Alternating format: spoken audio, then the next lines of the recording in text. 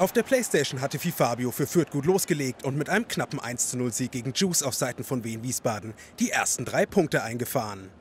Auf der Xbox kam es dann zum Duell zwischen Bremo und Impact. Halbzeit 1 torlos, das sollte sich in Hälfte 2 jedoch ändern. Impact mit Fürth in Grün von links nach rechts mit der Führung in Minute 65. Rgota mit dem 1 zu 0.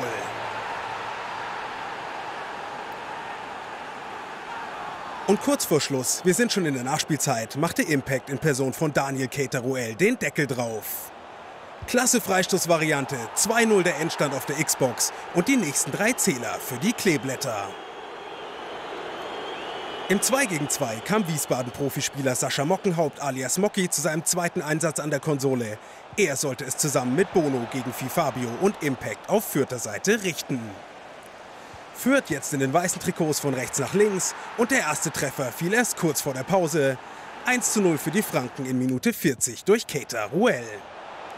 Und die Kleeblätter legten fünf Minuten später direkt nach, 45. Minute und es stand 2 zu 0. Das auch zugleich der Pausenstand.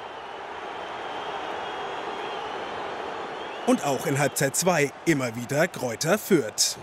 Die Franken mittendrin im Kampf um die Meisterschaft untermauerten ihre Titelambitionen eindrucksvoll. 70. Spielminute und jetzt war die Sache eigentlich schon klar. 3 zu 0 für den Favoriten. Der Sieg quasi nur noch Formsache. Aber Fifabio und Impact hatten noch nicht genug vom Tore schießen.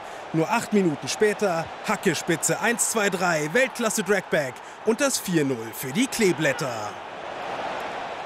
Wiesbaden zwar nicht mehr Schlusslicht in der Tabelle, aber gegen das Spitzenteam aus Fürth ohne Chance.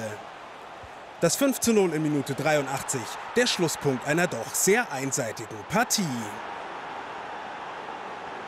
Fürth schlägt Wiesbaden am 20. Spieltag eindrucksvoll, entscheidet alle drei Partien für sich und das sogar ohne ein einziges Gegentor. Neun Punkte für die Kleeblätter, ein echtes Ausrufezeichen im Kampf um die Meisterschaft.